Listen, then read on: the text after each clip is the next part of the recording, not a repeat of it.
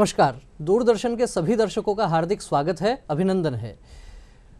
पुलवामा में जो अभी कुछ दिन पहले हमला हुआ और उसके बाद में जिस प्रकार की स्थितियाँ पूरे देश भर में बनी हुई हैं, पूरा देश सेना के साथ एक साथ पूरे उत्साह और जोश के साथ खड़ा है, इन्हीं सारे विषयों पर आतंकवाद और पुलवामा हमला इस विषय पर चर्चा करने के लिए आज हमारे स्टूडियो में पधारे हैं colonel D S Gurjar ji. Colonel साहब, आपका बहुत बहुत स्वागत है धन्यवाद आपका, धन्यवाद। हमारे यहाँ अक्सर ये कहा जाता है कि बच्चों को माताएँ बचपन में लोरी के साथ भी देशभक्ति के गीत सिखाती हैं, राष्ट्रभक्ति के संस्कार देती हैं और उन्हीं संस्कारों के कारण हमारी सेना पूरे विश्व में अदम्य साहस और शौर्य का प्रतीक बनी हुई है। हमारे यहाँ पल पल कहा जाता है कि राष्ट्रभक्ति का मूल्य प्राण है। देखें कौन चुकाता है। देखें कौन सुमन शैया तज कंटक पथ अपनाता है। तो उस कंटक पथ पर हमारी सेना चलती है। तब जाकर ये पूरा देश सुरक्षित रहता है। तब जाकर आतंकवाद की एडी पर आतंकवाद के फन पर एडी रगड़ने की बात हम लोग कह सकते हैं और किस प्रकार से कितना कठिन है, किस प्रकार से योजना बनती है, कैसी रणनीति होती है, इन तमाम विषयों पर हम चर्चा करेंगे। कर्नल साहब, सबसे पहले आपसे चर्चा करना चाहेंगे इस विषय पर कि, आखिर जो आतंकवाद है, ये देखा जाए तो वर्तमान दौर में तो पूरा विश्व इसकी चपेट में है पूरा विश्व इससे लड़ रहा है। लेकिन हम बात करें भारत की हिंदुस्तान की तो भारत और आतंकवाद ये किस प्रकार का कुछ कोई अलग तरह का आतंकवाद है? किस प्रकार की स्थिति परिस्थितियाँ किस नज़रिए से आप देखते हैं? जी जी सबसे पहले तो मैं आपका धन्यवाद करना चाहूँगा कि आपने इस विषय पे मेरे से मेरे विचार रखने के लिए आपने आमंत्रित किया। धन्यवाद आपका।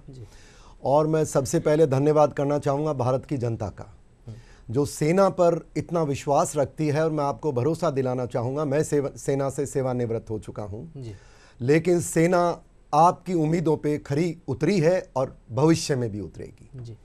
इसके साथ जैसे आपने सवाल किया उग्रवाद और भारत। हम्म। मेरा मानना है कि उग्रवाद और भारत एक बहुत उस समय से हमारे साथ जुड़ा है।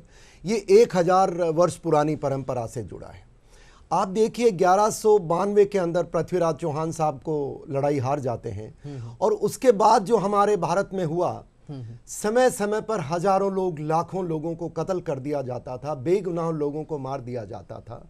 वो विभिन्न कारणों से होती थी विभिन्न परिस्थिति होती लेकिन वो भी एक प्रकार का आतंकवाद वो भी एक प्रकार का आतंकवाद है जो। मैं मानता हूँ आज के दौर में हम्म। भारत की स्थिति में सैतालीस से पहले की चर्चा लोग करते नहीं है। हम्म, हम्म। मेरी गुजारिश है सैतालीस से लेकर के भारत को देखने की गलती ना करें। ये बहुत पुरानी बीमारी है।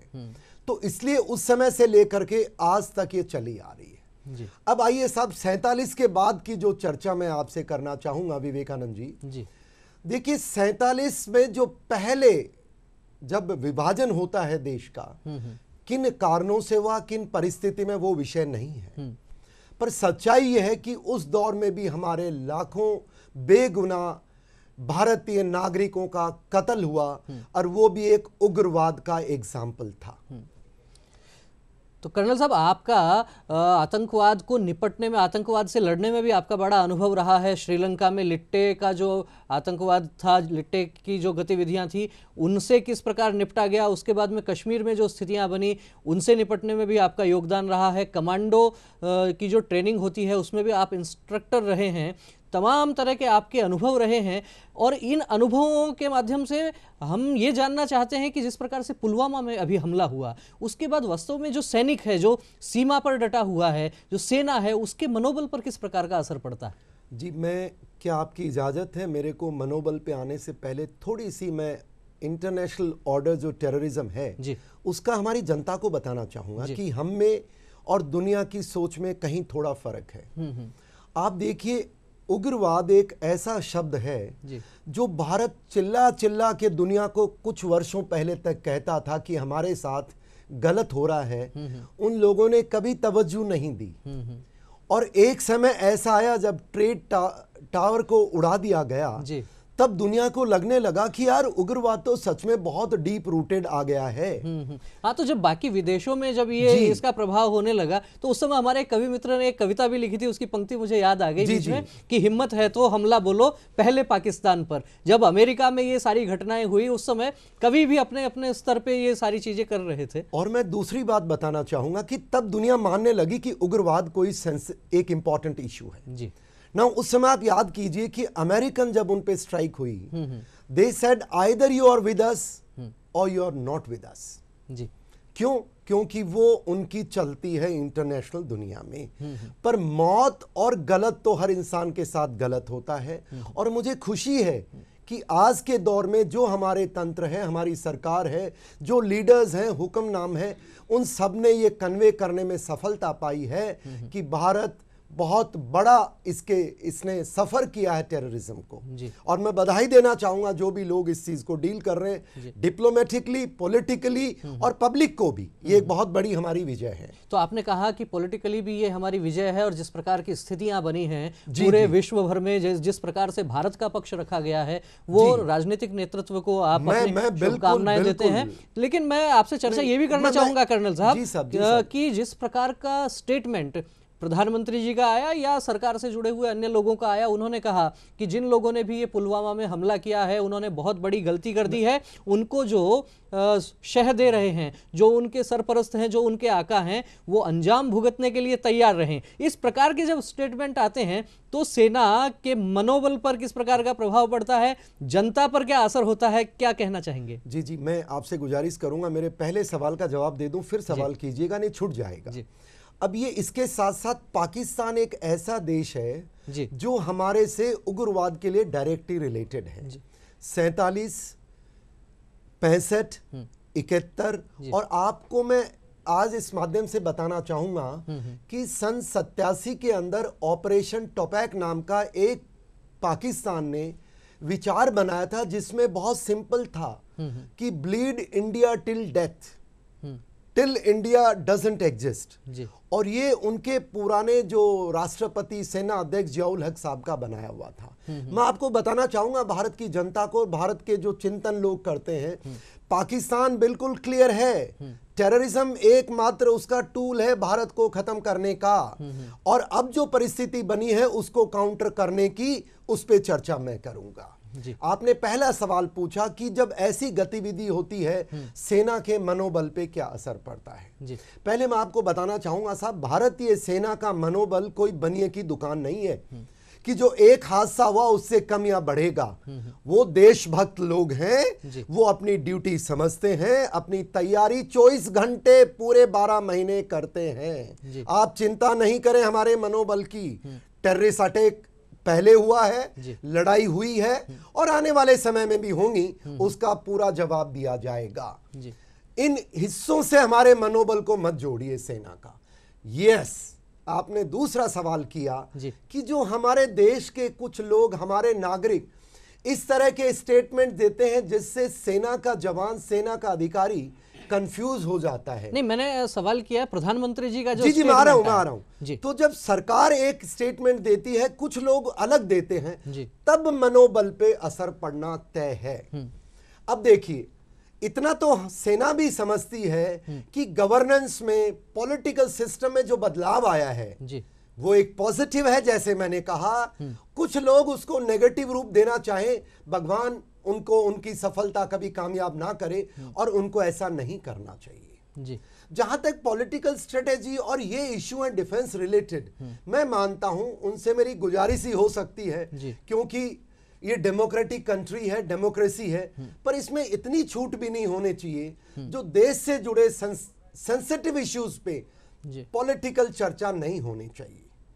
और जैसे इन दिनों में ये अटैक आया जी। प्रधानमंत्री जी महोदय जो अभी हमारे देश के हैं उन्होंने बिल्कुल ओपन स्टेटमेंट दिया और कार्रवाई की पहली बार मैं आपको बताना चाहूँगा। उन्होंने कुछ चंद एक बदमाशों की सिक्योरिटी कवर हटाया। मैं गुजारिश करूँगा आपसे बहुत बधाई के पात्र हैं बट जो बाकी बचे हुए उनकी भी आप हटाइए। दूसरा आपने बोला कि सेना को पूरी छूट है हम आपको बधाई देते हैं। और ये पहले भी सर्जिकल स्ट्राइक के दौरान देखा गया कि सेना ने बिल्कुल आपने फ्री छोड़ा सरकार ने देश ने। बिल्कुल आपकी उम्मीदों पे सेना खरी उतरी और हमने वो किया जो हमें करना चाहिए उसकी डिबेट नहीं है। आज आपने बोला है मैं आपको भरोसे के साथ भारत की जनता को कह सकता हूँ बिल्कुल सेना सही कार्रवाई दिशा कर रही है भरोसा रखें। तो भरोसा और हम। करेंगे लेकिन जी, जी। लेकिन कुछ इश्यूज़ हैं जो मैं चाहूँगा जनता और गवर्नमेंट से गुजारिश करना। मैं मैं सेवानिवृत्त आदमी हूँ। मैं हर भाषा वो नहीं बोलूँगा जो आपको पसंद आए। देखिए साहब कोई भी लड़ाई एक दिन में शुरू न तो होती है न खत्म होती है। ठीक बात है। भारत की जनता समझ ले। टेररिज्म कोई नया मसला नहीं है। लेकिन जब ये पुलवामा का हमला हुआ जैश ने अटैक किया है उसने स्वीकार किया है। पाकिस्तान के प्रधानमंत्री ने स्टेटमेंट दिया है। अरे साहब स्टेटमेंट तो उन्होंने दिया है पर वो जानते हैं ये गुर्गे इन्हीं के हैं। आप बेवकूफ़ बनाना बंद करो। और हमारी सरकार बिल्कुल आप सही काम कर रहे हैं बट मैं आपसे गुजारिश करूँगा कि आप प्रोग्रेसिव प्रोग्रेसिव स्ट्राइक करना चालू करें। सर अब टाइम आ गया है। पाँच की सिक्योरिटी हटा दी काफ़ी नहीं है सबकी हटाइए। जी। चाइना उनको सपोर्ट कर रहा हम सब जानते हैं। चाइना का सामान बंद पब्लिक ने करना शुरू कर दिया है और पब्लिक से भी गुजारिश है जी।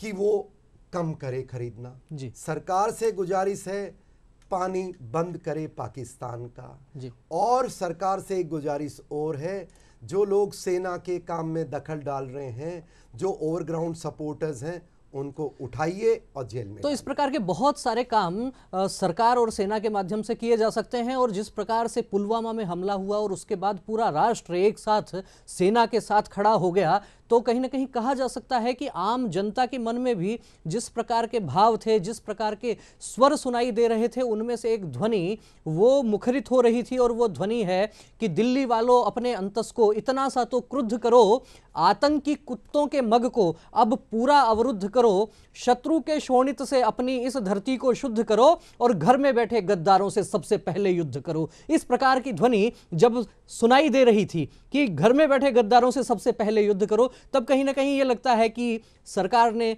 जो है, जो अलगाववादियों को सुरक्षा दी हुई थी, वो सुरक्षा उन्होंने वापस ली। लेकिन कर्नल साहब, चूँकि आप खुद सेना में रहे हैं, आपका लंबा अनुभव रहा है, जिस प्रकार से हमले होते हैं, सरकार भी सपोर्ट में आती है, पूरा देश सेना के सम्मान में एक साथ खड़ा होता है। लेकिन सेना की किस प्रकार से तैयारियाँ चल रही होती हैं? क्योंकि एक तरीके से कहा जा सकता है कि अ, लोग कहते हैं कि अब तो नगाड़ा बज ही चुका है सरहद पे। शैतान का तो नक्शे पर से नाम मिटा दो पापी पाकिस्तान का। ये भी भाव आते हैं सेना किस प्रकार से अपनी तैयारियों को अंजाम देती है? जी जी देखिए मैं सेना की सामान्य तैयारी जो मैं पब्लिक डोमेन में शेयर कर सकता हूँ इतना बताना चाहूँगा जी।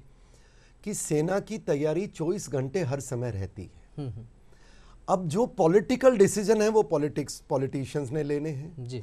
और रही बात उनको खत्म करने की मैं भारत की जनता से एक सवाल पूछना चाहूँगा कि साहब सैनिक तो स्यादत देता है सैनिक अपना काम कर रहा है। आप में रोष रहता है चार दिन पाँच दिन छह दिन और उसके बाद ये चीज़ गायब हो जाती है। मैं आपसे गुजारिश करूँगा कि फैसला करो इस बार। आर पार की लड़ाई और जैसा मैंने थोड़ी देर पहले बोला भाई साहब आपको जी। विवेकानंद जी। इस बार पाकिस्तान को खत्म करने के अलावा कोई चारा नहीं है। या तो आप फैसला कर लो। पाकिस्तान ने तो सुधरना नहीं है। जैसे उड़ी हुआ उड़ी के बाद बार, अ, नगरोटा हुआ नगरोटा के बाद अब इन्होंने ये किया है। और तीनों जैशे की कार्रवाई है जैश मोहम्मद की। अब आप फैसला कर लो। दस दिन बाद क्या छोटी मोटी मीठी मीठी बातें करके और कुछ करना चाहोगे? सेना तैयार है जवाब देने को। और मैं आपको मोटी चीज़ बता सकता हूँ। जो सेना के काम से रिलेटेड नहीं है किसी को खत्म करना है बड़ा फैसला समय लगेगा कोई बात नहीं। पर आज दिखाइए ना जो देश के गद्दार हैं जो जैसे आप कह रहे हैं जो आवाज़ उठा रहे हैं खिलाफ दो देश हित में नहीं है अरे उनको अरेस्ट कीजिए डालिए सिक्योरिटी सबकी हटाइए और पाकिस्तान का पानी बंद करने के लिए हमें किससे पूछने की ज़रूरत है? आप देखिए आपने मोस्ट फेवर्ड स्टेटस हटाया बधाई के पात्र है सरकार। पर साहब एक बधाई मेरी तरफ़ से मुझे मौका दो मैं आपको दूँ।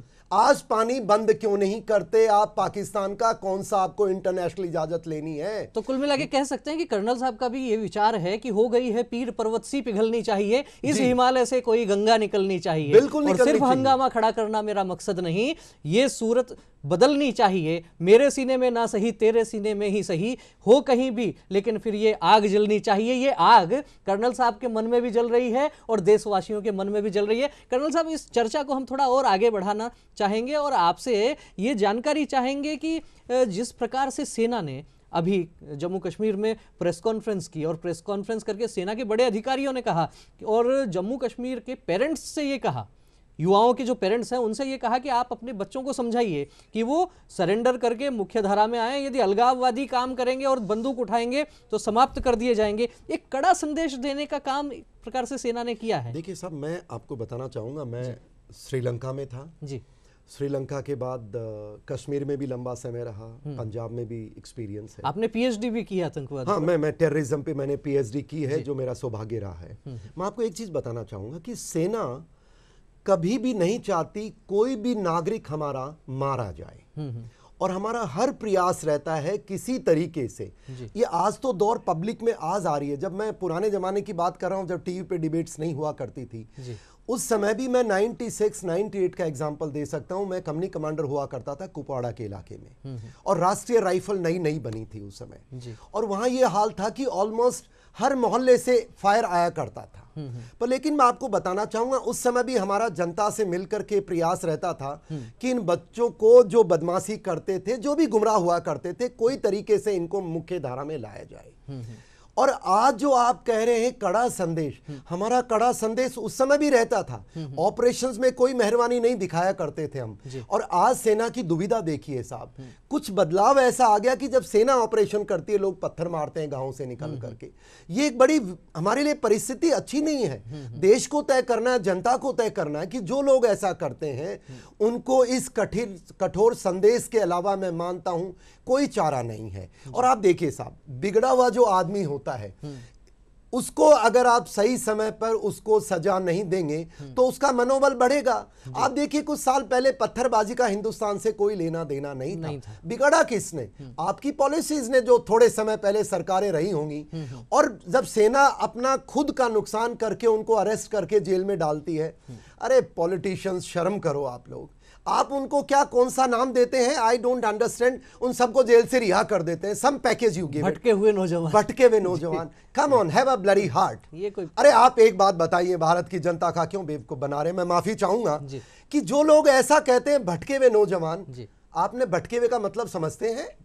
एक नौजवान को भटका हुआ कहते हैं तो वो आर्मी पोस्ट के ऊपर जो अपनी ड्यूटी कर रहा है कॉन्स्टिट्यूट उस पर पत्थर मारता है ये कौन सा भटका हुआ है? अरे दे भटके हुए नहीं है, इनको आपने बिगाड़ा है। और हम भी समझते हैं, बच्चे हमारे हैं। और जो लोग बाहर चर्चा करते हैं, मैं आपको बता दूँ, जो कंपनी कमांडर जो अधिकारी, जो सैनिक उस जगह बीच में खड़ा है, उसके लिए सबसे इंपॉर्टेंट अपना जीवन नहीं है। भारतवासियों का जीवन सबसे ज़रूरी है। और इवन मैं आपको बता दूँ, जब टेररिस्ट किसी घर में घुसा होता है, हम जानते हैं वो गोली मार रहा है। आप अंदाज़ा लगाइए साहब, घर के अंदर से, छेद में से गोली आ रही है। हम चारों तरफ़ से घेर के बैठे हैं और गोली वो देख के मारता है। हमारे पे लगती है, फिर भी हम उस घर को उड़ाते नहीं हैं। मौका देते हैं जब तक हमसे बनता है कि कोई भी सिविलियन उस घर में ना बचे और आखिरी एक्शन होता है तो जो ये स्टेटमेंट अभी मिलिट्री ने दिया है। ये हमारी मजबूरी है और इस मजबूरी को अब ये फैसला कर चुकी है सेना कि जो लोग ऐसा काम करेंगे क्योंकि मैं मानता हूँ सरकार ने भी कहा है हम आपको दखल नहीं करेंगे तो इनका विनाश होना तय है और समस्या जल्दी हल होगी तो सेना ने जो स्टेटमेंट दिया है वो सेना की मजबूरी है क्योंकि बहुत वर्ष हो गए देखते हुए जी। और सेना ये नहीं चाहती कि सिविलियंस का नुकसान हो उनको कोई आघात पहुँचे लेकिन जब सामने बात आती है कि देश के दुश्मन कहीं पनाह लेते हैं और पत्थरबाजों को जैसे भटके हुए नौजवान कहा जाता है और तमाम तरह की चीज़ें कर्नल साहब आपने बताई। लेकिन अब कहीं ना कहीं ऐसा लगता है कि ये विषय केवल कश्मीर तक नहीं रह गया है। अभी पहले तो ये देखते थे कि केवल कश्मीर में ही सेना के लिए इस प्रकार की चीज़ें होती थी, लेकिन अभी जैसे पुलवामा में हमला हुआ, उसके बाद तीन चार स्थानों पर कश्मीरी विद्यार्थी जहाँ पढ़ते हैं, वहाँ उन्होंने उस हमले का समर्थन किया और सेना के खिलाफ अलग तरीके का विचार जो निकल कर आया। चाहे वो अलीगढ़ मुस्लिम विश्वविद्यालय का मामला हो, चाहे उदयपुर की घटना हो, और तो और जयपुर में भी चार कश्मीरी छात्राओं ने जिस प्रकार से सोशल मीडिया पर अपने विचार व्यक्त किए तो कहीं ना कहीं कहा जा सकता है कि ये जो विष बेल है ये आगे बढ़ रही है और इस विष बेल का नाश किस प्रकार से किया जाए क्या कहना चाहेंगे? बिल्कुल बहुत अच्छा सवाल है साहब मैं आपको एक चीज़ बताना चाहूँगा। जी। मैंने आपको ऑपरेशन टोपैक का ज़िक्र किया था। जी। उसमें क्या था? उसमें पहली स्टेज ये थी कि हिंदुस्तान में आप आदमी अपने तैयार करो। हम्म हम्म। नंबर टू स्टेज में ये था कि कश्मीर के अंदर जी। जितने भी ये और जातियों के धर्म के लोग हैं उनको निकाल दो। जी। और वहाँ अपना एक तरह का जो ये इनका बदमाशों का राज है वो करो। और तीसरी स्टेज में था कि भारत के विभिन्न राज्यों में आप जहाँ जहाँ ये उनकी मानसिकता वाले लोग हैं उन विचारों को पनपाइए और लास्ट में पूरे भारत का ऐसा हाल करो ऐसा उनका ये डॉक्यूमेंटेड है। नंबर टू अब जो ये और आवाज़ उठ रही है साहब एक दिन में नहीं उठी है। ये टुकड़े टुकड़े गैंग क्या है? जी। वो एक अ, कौन सी यूनिवर्सिटी थी जिसमें बच्चे बच्चे पढ़ाई करने जाते हैं कि ये इस तरह की पॉलिटिक्स करने जाते हैं? जेएनयू में कुछ एक आवाज़ उठी थी। जी। तो गलती किसकी है? कर्नल साहब अभी ये कार्यक्रम हमारा अंतिम चरण में है। आप क्या संदेश देना चाहेंगे युवाओं को इस कार्यक्रम के माध्यम से जिस प्रकार का सिनेरियो है और जो हम चर्चा कर रहे हैं युवाओं की क्या संदेश देना चाहेंगे आप? जी मैं आपके माध्यम से तीन संदेश देना चाहूँगा। जी। पहला संदेश सरकार के लिए कि देखिए भाई आप डिप्लोमेसी सही कर रहे हैं। जी। पहली लड़ाई। दूसरी लड़ाई इंटरनल सिक्योरिटी की है वो बिल्कुल तंत्र सही कर रहा है। जी। और तीसरी लड़ाई जो हमको बॉर्डर पार करके इस बार आर पार खत्म करना है। जी। मैं ये बताना चाहूँगा आपको कि पीओजे के पाकिस्तान ऑक्युपाइड जम्मू एंड कश्मीर किसी दूसरे देश का हिस्सा नहीं हमारे देश का कानूनी हिस्सा है। जी। उसके अंदर जो भी गतिविधि करे उसको खत्म करना हमारा हक है किसी की इजाज़त की ज़रूरत नहीं है। जी। दूसरी मेरी जो संदेश मैं जनता से देना चाहूँगा जी। कि जैसे आपने पूछा युवा साहब मेरा क्या संदेश हो सकता है? जो देश का युवा है वो तो जानता है गलत क्या है। और ये भटके भटके शब्द को खत्म करो। जी। जो लोग ऐसी आवाज़ उठाते हैं कानून हमारा है कानून कार्रवाई करे। नहीं जनता भी अब कह रही है कि उपवन से जो घात करे वो शाख तोड़ दी जाएगी और मातृभूमि की ओर उठी हर आँख फोड़ दी जाएगी। इस प्रकार का विचार भी युवाओं में से ही आ रहा है। बिल्कुल तो हमारा युवा तो जानता है। और उन गद्दारों को युवा से मत जोड़िए। वो गलत लोग हैं देशद्रोही हैं वो दुश्मन के एजेंट है हमारे देश में। उनके साथ जो कानून में कार्रवाई होनी चाहिए कीजिए। तो कानून में जो कार्रवाई है वो कार्रवाई करनी पड़ेगी सेना को भी और अपने आसपास में हमें भी ध्यान रखना पड़ेगा इस प्रकार के तत्वों का और उनका समूल नाश करने के लिए सेना तो संकल्पित है ही, हमें भी अपनी भूमिका निभानी होगी। और कहीं ना कहीं राजनीतिक नेतृत्व ने भी ये दिखा दिया है कि किस प्रकार से दृढ़ प्रतिज्ञा होकर, दृढ़ संकल्पित होकर पूरे विश्व को ये संदेश दे दिया है कि क्षमा शोभती उस भुजंग को जिसके पास गरल हो। तो ये गरल दिखाने का भी काम किया है और हमारी सेना लगातार निरंतर सीमा पर अपनी साहस से, शौर्य का परिचय दे रही है और उसमें जितने लोगों का बलिदान हो रहा है, जो शहीद हो रहे हैं, हम उन्हें भी श्रद्धांजलि अर्पित करते हैं और कह सकते हैं कि है नमन उनको कि जिनकी अग्नि से हारा प्रभंजन काल कौतुक जिनके आगे पानी पानी हो गए हैं। है नमन उनको कि जिनके सामने बोना हिमालय जो धरा पर गिर पड़े पर आसमानी हो गए हैं। उन आसमानी लोगों को हम बहुत बहुत श्रद्धांजलि अर्पित करते हैं। आप हमारे यहाँ स्टूडियो में पधारे गुर्जर साहब आपका बहुत बहुत धन्यवाद नमस्कार। जी जी। नमस्कार मैं एक सेकंड आपसे चाहूँगा। सबसे पहले जो आज देश की परिस्थिति है मैं धन्यवाद करना चाहूँगा इस सरकार का जो एक तरीके से सारे हमारे लोग साथ आ रहे हैं बधाई के पात्र हैं एकजुट रहें। और जनता से भी मेरी गुजारिश है जिस प्रकार आप सरकार के पीछे खड़े हैं सेना के पीछे खड़े हैं मैं भरोसा दिलाता हूँ सेना आपकी इच्छा पूर्ति ज़रूर करेगी। जय हिंद बहुत जय बहुत धन्यवाद नमस्कार।